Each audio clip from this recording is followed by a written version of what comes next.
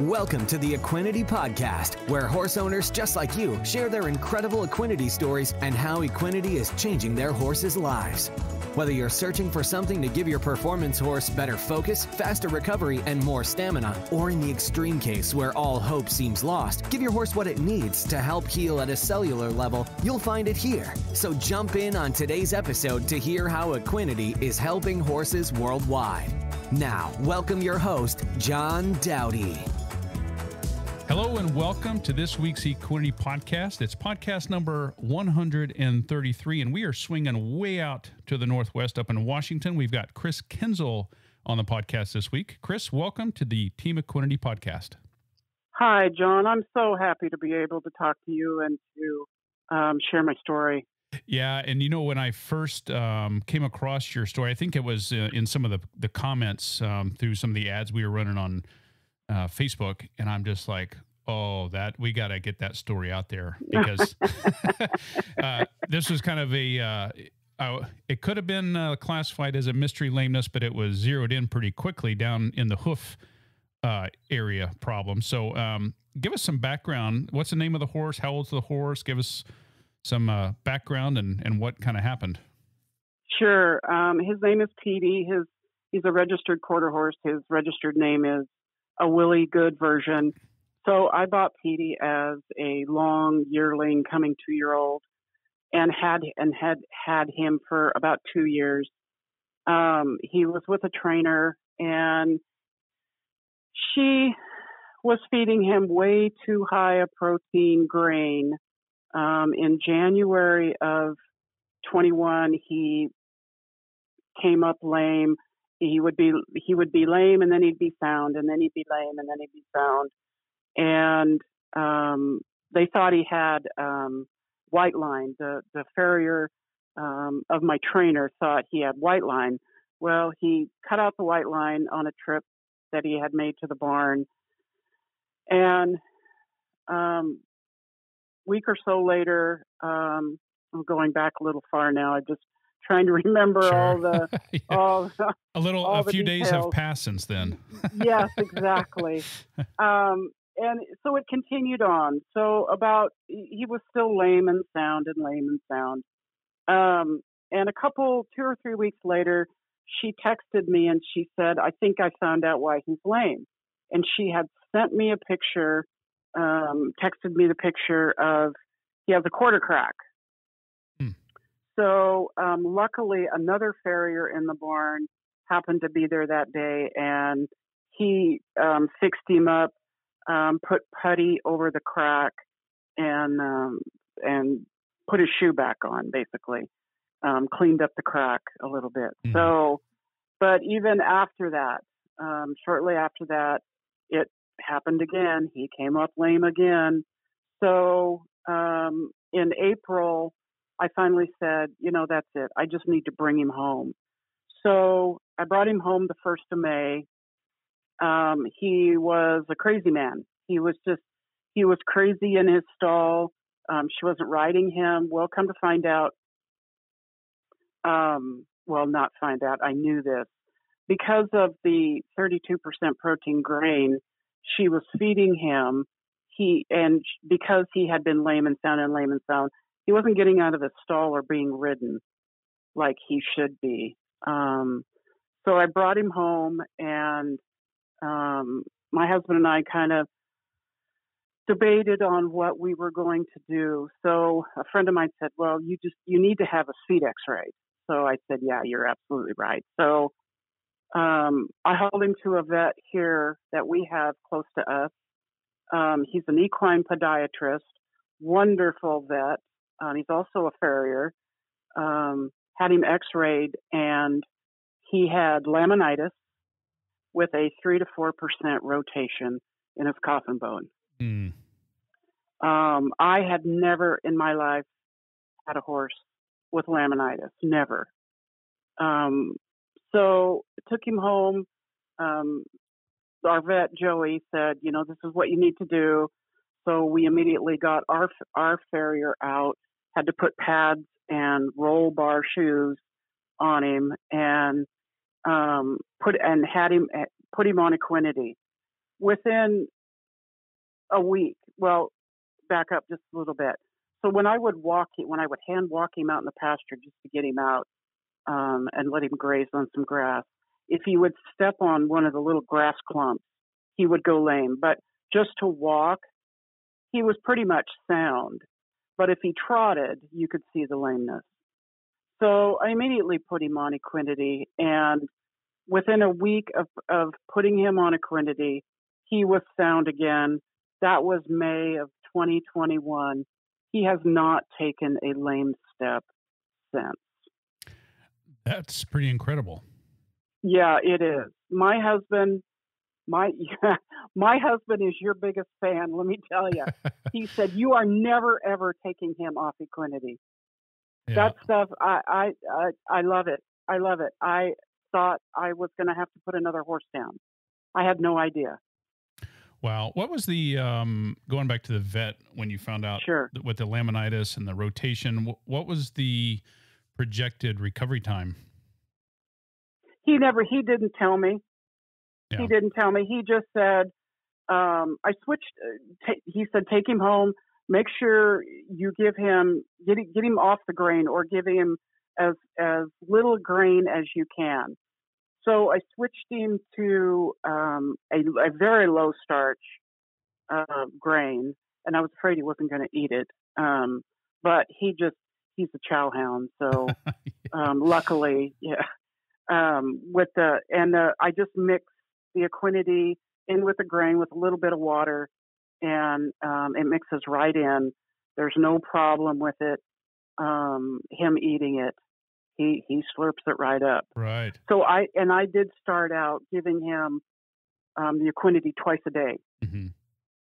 So I went through two. I went through two containers um, of Equinety, giving him uh, twice a day, and then I backed down to once a day. Yes, and I'll get into the the science behind that and and the reason two scoops versus one. Um, how long was it from the time your farrier was working on the horse and you started feeding the equinety until he came his reaction when he saw the the new hoof growth and everything so so i never get to see my farrier my husband because i work and my husband is at home. He's retired. Um, so i never get to see my farrier but um, my husband would give me glowing reports um, and shane my farrier he called me a couple times um, within the, I, at least if not the first, the second trimming, he he just kept saying, "You guys need to keep doing what you're doing. Keep doing what you're doing. It's getting better." Um, I can say by May, so by I'm going to say November, December, would when Shane would trim him and then go to nail the shoe back on. Yeah, it was December so he, Tim, my husband Tim, um, had told him, you know, please call Chris and tell her what, you know, tell her what you're seeing and how he's doing. So he called me that night and he said, um, the one great thing is he's not flinching when I nail the shoe back on anymore. Ah, uh, and what, so how, from what, what, kind of time frame was this? May to December. Okay. Yeah. Uh, this is 20, 21, 20? Uh, 20, 21. Okay, yeah. 2021. Yeah, wow. So, yeah, when he said that, I started crying. Yeah. I was so, I was so relieved. He said he, he's just, he's gotten better. Mm-hmm. And you, you can see, you can, he, he kept saying you can see where he's healing. Sure. Now I know you also took uh, well the quarter crack. Um, what happened to the to the quarter crack? Oh, it's gone so I just ha- I just had him. Yeah, I just had him reshod last week, and the quarter crack is gone. Yeah. So I know you had taken the X-rays before, and uh, yeah, and then you're going to have post X-rays done, I guess, next week sometime. Yes, yes, yeah. a week from uh, uh, yes, next week. Yeah. So we we hear this all the time, but um, uh, when this podcast is posted on our website at teamequinety.com, We'll also have it transcribed, and so uh, the X-rays might come in a week or so later. But we'll post the before and afters because, based on all the other um, before and after X-rays we've seen over eight years, um, pretty much guarantee that that, that sole depth is going to be thicker than it oh once yeah, was. it, it is. Yeah. It is. The what? And he told me. He told me. Well, and this is going through my husband. yes. um, he says it's it's just the the white line from the laminitis is so small. Yep. But he's continuing to um, nail, keep putting the nail, um, nailing the shoe away from that until he thinks that it, you know, Sure. it'll be okay. Okay. Yep. Well, you know, it's interesting because I tell people all the time that the uh, Equinety Horse Excel is not a miracle supplement. And then we hear stories like this. And, you know, for all things considered, you know, just changing the environment that the horse was in is going to have a huge um, Yeah. positivity for the horse. I mean, we all get that. Um, but what we found over eight years, uh, horses in general, they're typically just lacking in amino acids. And one of the things that makes the Equinety Horse Excel so unique is it doesn't fit into a specific supplement category. In other words, it's not just a hoof supplement, and it's not Right. just a joint supplement or a recovery supplement or shiny coat supplement. I mean, it actually helps do all of these things. But the way that it works from a scientific aspect, when you give a scoop of this, just one scoop in the morning, as an example, um, these amino acids are specific to targeting the pituitary gland, which is the gland that releases repairing hormones, to make it simple. And then the body is able to send its own hormones to its own problem areas. So it's it's customizing to exactly what the horse needs, and it takes a lot of the guesswork out of it. And the interesting thing is, is that the hormones that are released have a 23 and a half hour life cycle. So what that means is when you give a scoop in the morning, by the time you give a scoop the next morning, the hormone levels are back to where they would normally be for that age of a horse, which is perfectly fine in pretty much all situations. Now, um, you had said or mentioned that you were, you were giving a scoop in the morning and the evening, and Correct. the science behind that is for an injured horse and or even for the working performance horse that doesn't have any injuries or problems per se, but we're after the recovery aspect. By giving a scoop in the morning and a scoop in the evening, we're keeping the hormone levels elevated all the time. And so it helps promote faster recovery and repair. And so, in all of the situations that we've heard about over eight years, especially with an injured horse, by using two scoops of Equinety morning and evening, or also, let me clarify, one scoop in the morning, one scoop in the evening, then they're typically always back ahead of schedule. And so, Yeah. you know, going back to what I was saying earlier, you know, the Equinety Horse Excel is not a miracle supplement, but it's giving your horse what it needs to help repair itself, taking a lot of the guesswork out, and it helps get your horse back to where you wanted them to be sooner. And a lot of farriers are catching on because you know we've heard stories through the years where especially some of the older horses that oh we just run a rasp on there a couple times and and that's their foot care That's right. right and so now they'll come out and go what in the world are you giving this horse we actually had to clip some stuff off so it really helps promote yeah. you know And I'm blessed to have a really, really good farrier who really cares about his work. Sure. Yeah. And that's so important too. I mean, you know, it, as any horse owner knows, you know, you, you get the, the wrong person in there and they do the wrong thing. And now you've got a lame horse and now we've got to get him repaired again. And so, Exactly. yeah. And yeah. you may not call Equinety a miracle drug, but I sure in hell do. and, you know, we all, as horse people, we all look at products. We try so much. I'm going to try this and try this and try this. And this doesn't work. Quit trying and just go to Equinety. wow. Oh my I- gosh. yeah. And It's- I, I didn't even pay you for that segment, but thank you. No, you did not. But I, I, you know, I so firmly believe in Equinety right now. Um, I had used it previously the way I found you. I had used it on my previous gelding that I had to put down before I got Petey. He had, um, I had had to do a stem cell procedure on a suspensory ligament and gave him Equinety while he was healing from from the procedure hmm um, and he did so well from healing. But Yeah. um, I I I just love I love you, John. I really do. I love your product. Um, again, like I said, don't try everything. Just try Equinety. Well, it, it's hard to disagree with you on that one. Um, Now, I'll, I'll, throw a couple other things out there, and, and we really appreciate you coming on and, and sharing the story and, and the nice comments and everything. And uh, I would say one of the the big questions that we we receive all the time when people are first learning about the product, because it is so unique. One of the questions is, do I stop using all the other supplements and just use Equinety, or what do we do there? Well, I come from the school of I don't know your horse at all. Um, and then based on whatever you tell me, you know, we're not, we don't want to change anything that you're already doing. So don't change any of your supplement program, your feeding program, anything. Just add a scoop of Equinety Horse Excel to it. And that way you're only changing one element. And it works really quickly. And I'll give people the the rundown. So the the amino acids are absorbed within hours. And yeah. Yeah. And it goes right to work. And so what we've heard through the years, horses that have a lot of stress, anxiety, or a bit spooky, we've seen complete demeanor changes in as little as two or three days.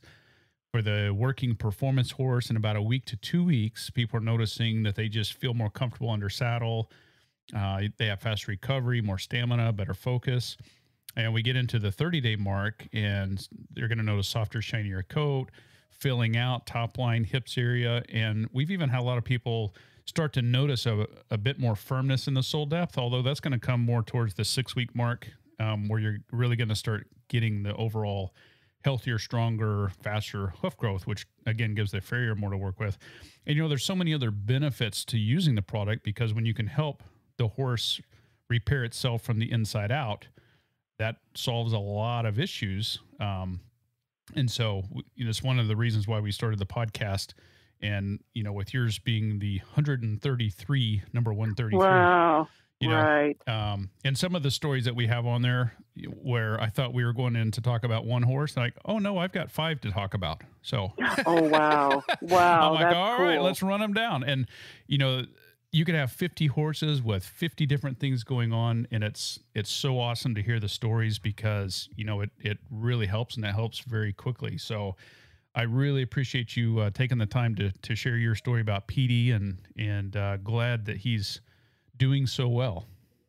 Yes, he is. And I, John, I mean, I can't tell enough people how wonderful this product is. It's just Equinety has been my lifesaver. And Petey, I mean, he's only five, so um, this summer with gas prices the way they are, I don't know what's going to happen with us. I hope to do a little showing, but I'm sure whatever it is, um, he's going to be fabulous. oh yeah, it. he's going to be having a good old time. yeah, and he's and being five, so he's grown. He was he grew this whole year, and I yes, he's filled out.